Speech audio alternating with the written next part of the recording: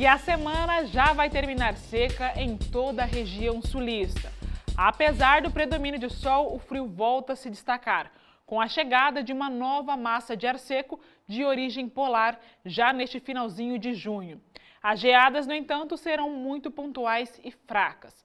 No período da tarde ainda não faz muito calor e a máxima desta sexta-feira é de 17 graus em Pelotas, 22 em Cruz Alta, 24 em Maringá e até 21 graus para quem mora em Joinville.